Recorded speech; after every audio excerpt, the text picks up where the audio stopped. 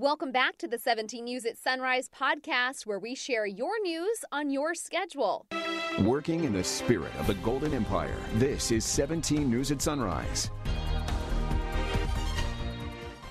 Good morning. Right now at 5, just five days out from Inauguration Day, the FBI and other law enforcement agencies are ramping up security over the possibility for more violence at protests and rallies. Plus, President elect Biden announces his plans for another COVID 19 stimulus plan as soon as he's inaugurated, and it includes more checks for Americans. We'll tell you how much. And here at home, members of the public line up to get their coronavirus shot after the state gives the go ahead to begin vaccinations for people 65 and older.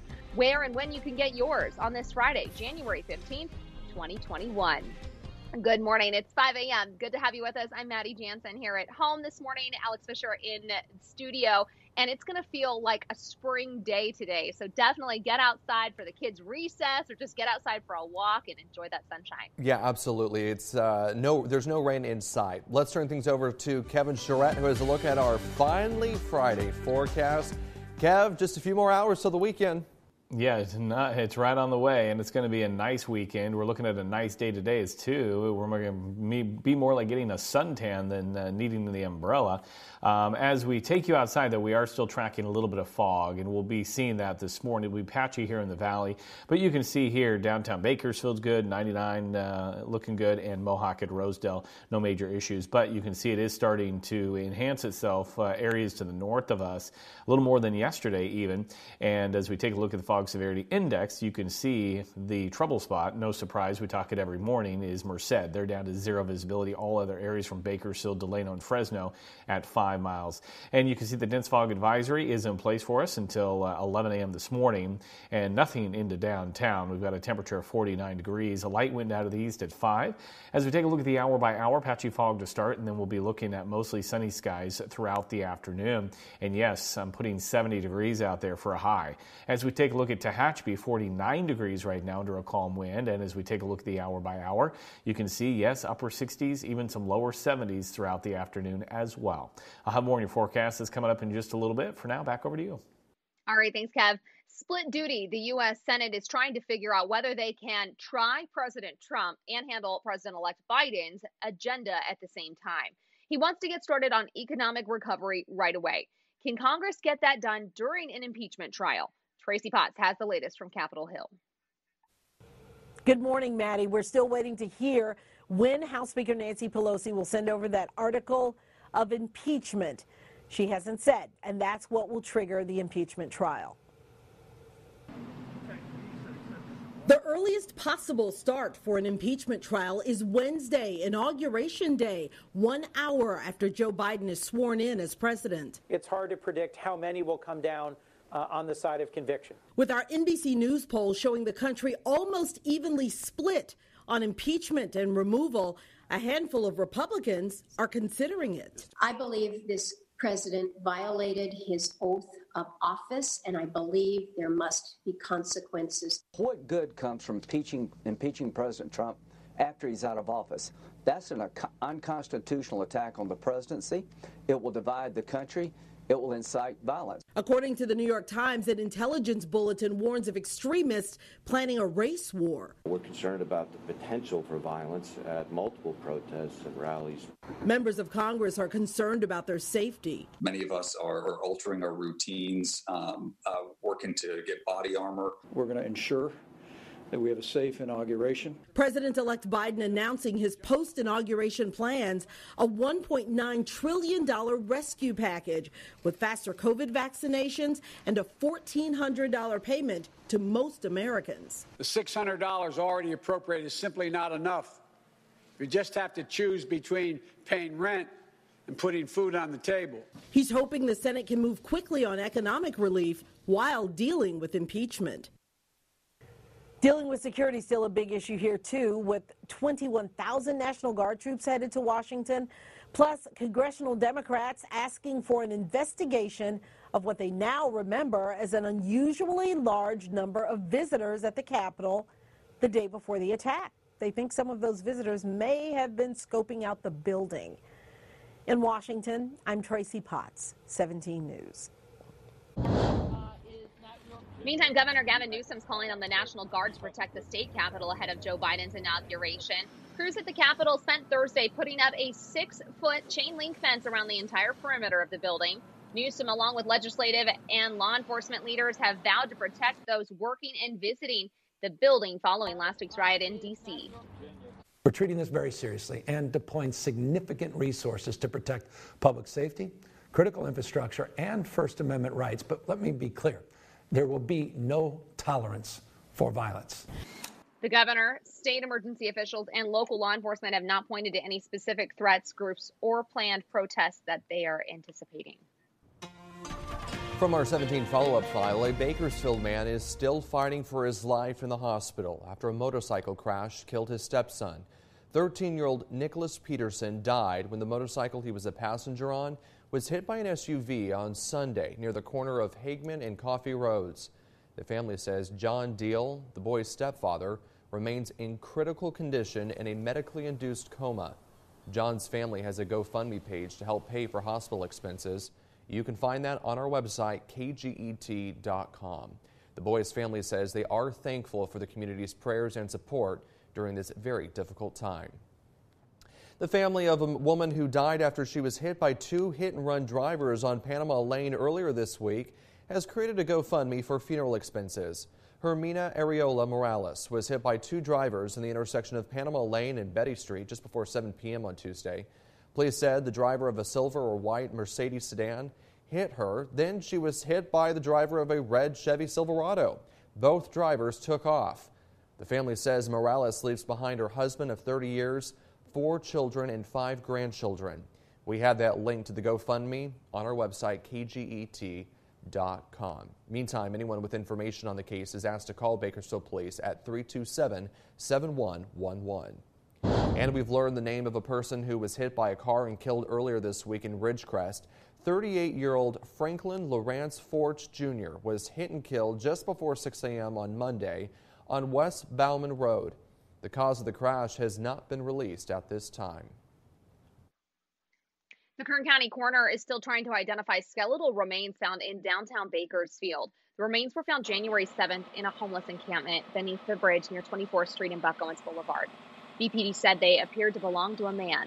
The coroner has not released any information about the remains except to say further investigation is needed to determine the person's identity and cause of death.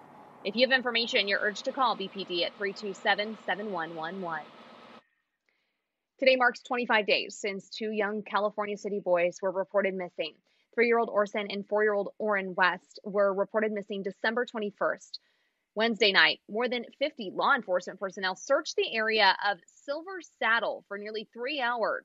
The search was prompted after Cal City received information about a white van spotted in the area the week the boys were reported missing. Police say nothing useful was found. Multiple rewards have been offered for information on the boys, totaling $80,000.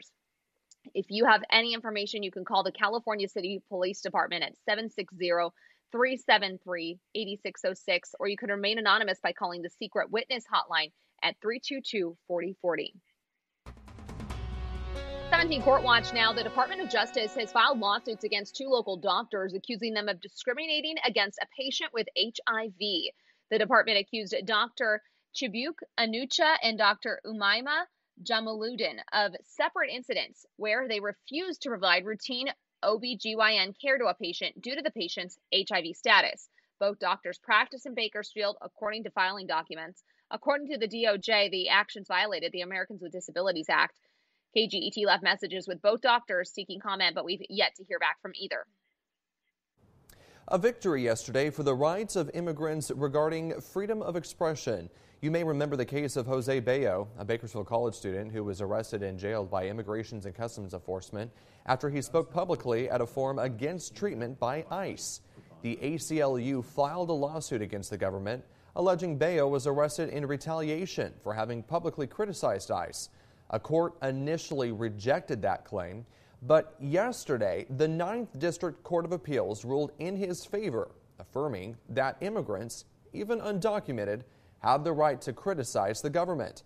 This means the immigration lawsuit may continue to move forward. KGET Business Watch is brought to you by Grapevine MSP Technology Services, the Valley's leading IT service provider. Welcome back in your business watch. A well known Greek yogurt brand is branching out into coffee. Chobani's launching a new ready to drink cold brew coffee drink line. The new offerings are crafted with single origin cold brew and feature Chobani's oat milks and dairy creamers. They are available in four flavors, including sweetened and unsweetened. They are available grocery stores nationwide.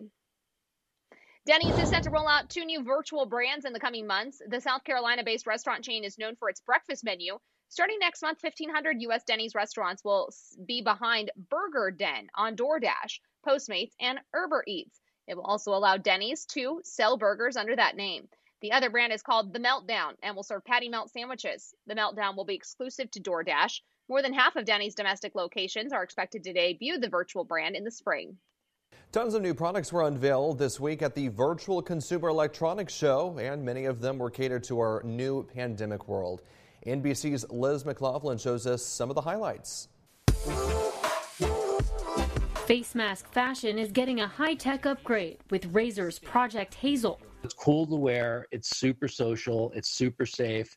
This clear N95 mask prototype has lights and a built in speaker to prevent muffled conversations. In order to move forward, we have to adapt to our surroundings. Another for enhanced communication, the mask phone which is exactly what it sounds like. You have a microphone inside the mask so you can be easily heard on a conference call. AirPop is launching its Active Plus mask this month with a sensor that tracks breathing and air quality. Or grab a purse sized air purifier such as the Luft Duo. LG has some products too. They have mini air purifiers. So if you're concerned about just your environment at home and you want to bring one from room to room, there are much smaller solutions available than there have been. In addition to gadgets that purify and sanitize, more companies are integrating touchless features into everyday devices. This new Kohler toilet has hands free flushing. And this no ring doorbell from Alarm.com works with a weight sensing doormat. There's even the Eddy doorbell that reads temperature. It would be good for either high traffic environments or even just on a personal use. New products shaping a COVID conscious era of technology. Liz McLaughlin, NBC News. 539 is your time now. Family, friends, and former students gathered yesterday to celebrate the life of beloved Bakersfield educator and community advocate John Hefner. Half a dozen people shared their reflections with attendees on a life well lived. For 30 years, John Hefner was principal of Fruitvale Junior High School. He loved his students and knew them all by name. He was intimately involved in every aspect of education and was the driving force behind Fruitvale's Powerhouse History Day program. Hefner loved to travel the world, never met a stranger, and spent a lifetime helping others. Things that I've heard from a handful of you since John passed are stories about how John helped you in your career or how John was so gracious to your parent or your child, or how John helped you with a challenge, a particular challenge in your life. And you know, the thing that was remarkable is I had never heard one of those stories ever told to me before because John never never tooted his own horn. He just went about his business uh, doing things for people. Hefner passed away two weeks ago at the age of 74 after a brief battle with cancer. Working in the spirit of the Golden Empire, this is 17 News at Sunrise. The 17 News at Sunrise podcast is a production of KGET and Nexstar Media Group. For more on all of the headlines in today's show, head to kget.com.